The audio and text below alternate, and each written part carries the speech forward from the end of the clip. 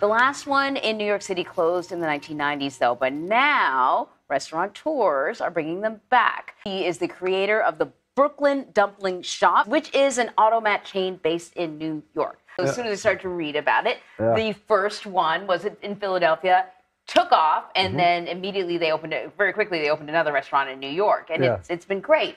So talk to me about what the original automat was and how It's- why it's coming It- it- back.